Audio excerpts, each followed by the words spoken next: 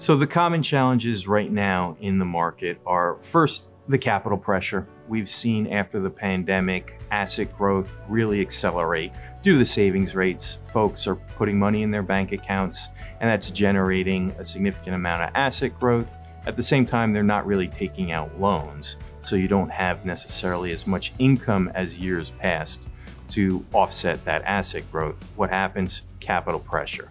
So that's challenge and we address that with subordinated debt. So we can help credit unions issue subordinated debt into the market. And under regulatory rules, they can count that debt towards their capital. And we can help them with the entire process of issuing the subordinated debt. But more importantly, I think really understand whether it's right for their credit union. Then the other challenge that's quite pronounced at the moment is what to do with the excess cash because loan demand is not that strong.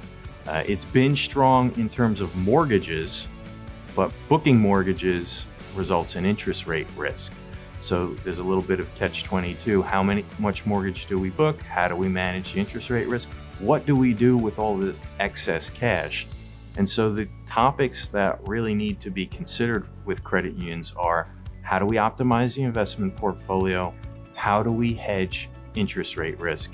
How do we get the optimal balance of risk and return in this environment? And it's a trickier environment than years past. And those issues need a lot of careful attention. And that's what our team is you know, staffed to do. That's what we're doing. That's what we want to do for more credit unions.